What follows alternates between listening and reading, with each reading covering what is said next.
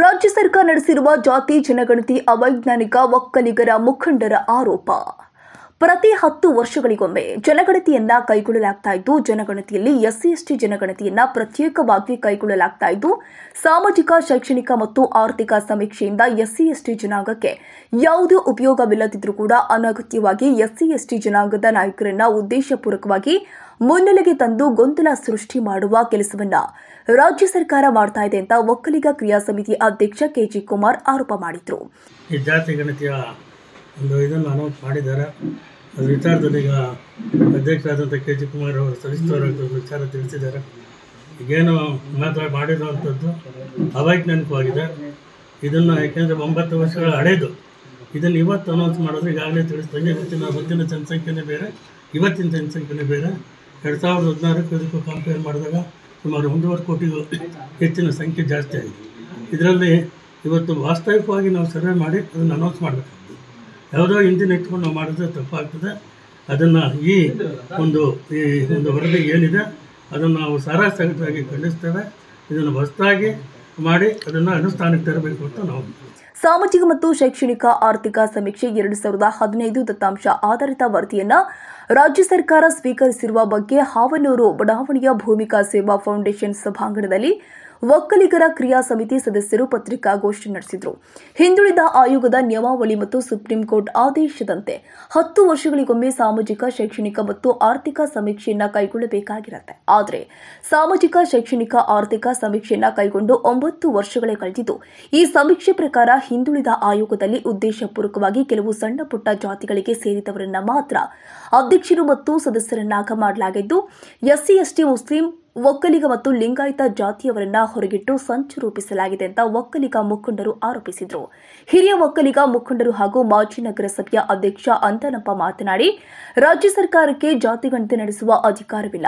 ಯಾಕಂದ್ರೆ ಜಾತಿ, ಜನಗಣತಿ ಹಾಗೂ ಜನಸಂಖ್ಯೆ ಗಣತಿ ಆಧಾರದ ಮೇಲೆ ಪೂರ್ಣ ಪ್ರಮಾಣದ ಗಣತಿಯನ್ನ ಕೈಗೊಳ್ಳಬೇಕಾಗಿರುತ್ತೆ ಅಂತ ತಿಳಿಸಿದ ಅವರು.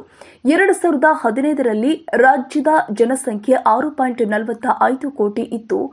ಅದು ಎರಡು ಸಾವಿರದ ಇಪ್ಪತ್ನಾಲ್ಕರ ವೇಳೆಗೆ ಏಳು ಪಾಯಿಂಟ್ ಎರಡು ಕೋಟಿಯಾಗಿದ್ದು ರಾಜ್ಯ ಸರ್ಕಾರ ಜಾತಿ ಜನಗಣತಿ ಮಾಡಿಸಿರುವುದು ಕೇವಲ ಐದು ಪಾಯಿಂಟ್ ತೊಂಬತ್ತ ಎಂಟು ಕೋಟಿ ಜನಸಂಖ್ಯೆ ಮಾತ್ರವಾಗಿದ್ದು ಇದು ಅವೈಜ್ಞಾನಿಕವಾಗಿದೆ ಎಂದರು. ರಾಜ್ಯ ಸರ್ಕಾರ ನಡೆಸಿರ್ತಕ್ಕಂಥ ಜಾತಿ ಗಣತಿ, ಜಾತಿ ಆಧಾರಿತ ಸಾಮಾಜಿಕ ಶೈಕ್ಷಣಿಕ ಗಣತಿಯನ್ನು ಮಾಡಿದ್ದೀವಿ ಅಂತ ಹೇಳಿ ಮೊನ್ನೆ ಹೈಕೋರ್ಟ್ಗೆ ಸರ್ಕಾರ ಅಫಿಡವಿಟನ್ನು ಸಲ್ಲಿಸಿದೆ. ನಾವು ಎರಡು ಸಾವಿರದ ಹದಿನೈದರಲ್ಲಿ ರಾಜ್ಯ ಸರ್ಕಾರಕ್ಕೆ ಅಧಿಕಾರ ಇಲ್ಲ, ಜಾತಿ ಗಣತಿಯನ್ನು ನಡೆಸಲಿಕ್ಕೆ ಅಂತೇಳಿ ನಾವು ಹೈಕೋರ್ಟ್ನಲ್ಲಿ ಸಾರ್ವಜನಿಕ ಅರ್ಜಿಯನ್ನು ಸಲ್ಲಿಸಿದ್ವಿ. ಅದು ಒಂಬತ್ತು ವರ್ಷ ಆದ್ರೂ ಇಯರಿಂಗ್ಗೆ ಬಂದಿರಲಿಲ್ಲ.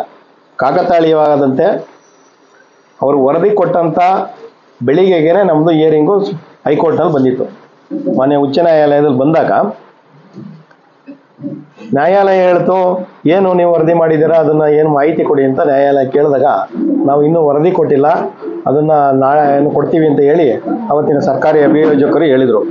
ಆಗ ಮಾನ್ಯ ನ್ಯಾಯಮೂರ್ತಿಗಳು ಹೇಳಿದ್ರು ಇಲ್ಲ ಏನು ವರದಿ ಕೊಟ್ಟಿದ್ದಾರೆ ಅದ್ರ ಮಾಹಿತಿಯನ್ನು ನೀವು ಕೋರ್ಟ್ಗೆ ಸಬ್ಮಿಟ್ಮೆಂಟ್ ಮಾಡಿ ಅಂತ ಹೇಳಿ ಹೇಳಿದಾಗ ಸರ್ಕಾರ ಆ, ತನ್ನ ಅಫಿಡವಿಟನ್ನು ಸಲ್ಲಿಸಿದೆ. ಅದರ ಅಫಿಡವಿಟಲ್ಲಿ ಹೇಳಿದ್ದಾರೆ. ಇನ್ನು ಇತಿಹಾಸ ಸಂಶೋಧಕ ಹಾಗೂ ಒಕ್ಕಲಿಗ ಮುಖಂಡ ತಲಕಾಡು ಚಿಕ್ಕರಂಗೇಗೌಡ ಮಾತನಾಡಿ, ಈ ಸಮೀಕ್ಷೆ ಮಾಡಿರುವುದ್ರ ಹಿಂದೆ ಲಿಂಗಾಯತ ಒಕ್ಕಲಿಗರಿಗೆ ತೊಂದರೆ ಕೊಡಲೆಂದೇ ಸರ್ಕಾರ ವ್ಯವಸ್ಥಿತವಾಗಿ ಸಂಚು ರೂಪಿಸಲಾಗಿದೆ.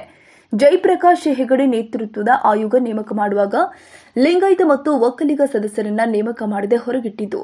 ಆಧಾರ್ ಲಿಂಕ್ ಮುಖಾಂತರ ಪಾರದರ್ಶಕವಾಗಿ ಸಮೀಕ್ಷೆಯನ್ನು ಕೈಗೊಳ್ಳದೆ ಅವೈಜ್ಞಾನಿಕವಾಗಿ ಸಮೀಕ್ಷೆ ಮಾಡಿಸಲಾಗಿದೆ. ಇದರಿಂದ ಹಿಂದುಳಿದ ವರ್ಗಕ್ಕೆ ಅನ್ಯಾಯ ಮಾಡಿ ಎಸ್ಸಿ, ಎಸ್ಟಿ ಜನಾಂಗಗಳನ್ನು ಉದ್ದೇಶಪೂರ್ವಕವಾಗಿ ಮುನ್ನೆಲೆಗೆ ತಂದು ಗೊಂದಲ ಸೃಷ್ಟಿ ಮಾಡಲಾಗುತ್ತೆ ಎಂದರು. ಮುಂದಿನ ವಾರ ಒಕ್ಕಲಿಗರ ಪ್ರಾಬಲ್ಯ, ಪ್ರಾಬಲ್ಯದ ಹದಿನಾರು ಜಿಲ್ಲೆಯಲ್ಲಿ ರಾಜ್ಯ ಸರ್ಕಾರದ ವಿರುದ್ಧ ಹೋರಾಟ ನಡೆಸಲಾಗಿದೆ ಅಂತ ಒಕ್ಕಲಿಗ ಮುಖಂಡರು ಹೇಳಿದ್ದಾರೆ. ಇನ್ನು ಪತ್ರಿಕಾಗೋಷ್ಠಿಯಲ್ಲಿ ಒಕ್ಕಲಿಗ ಮುಖಂಡರು ಆದ B T Srinivas A S Govindegowda, Kalegowda, Govindaraju Patel Krishna Prasad Santosh, Lakshmi Srinivas, Manjuraj Krishnappa, doctor Madhusudan ಮುಂತಾದವರು ಉಪಸ್ಥಿತರಿದ್ದರು. ಜಾತಿ ಜನಗಣತಿ ಅವೈಜ್ಞಾನಿಕ ಎಂದು ಆಗ್ರಹಿಸಿ ಹಾವನೂರು ಬಡಾವಣೆಯ ಭೂಮಿಕಾ ಸೇವಾ ಫೌಂಡೇಶನ್ ಸಭಾಂಗಣದಲ್ಲಿ ಒಕ್ಕಲಿಗ ಮುಖಂಡರು ಮತ್ತು ಒಕ್ಕಲಿಗರ ಕ್ರಿಯಾ ಸಮಿತಿ ಸದಸ್ಯರು ಪತ್ರಿಕಾಗೋಷ್ಠಿ ನಡೆಸಿದರು.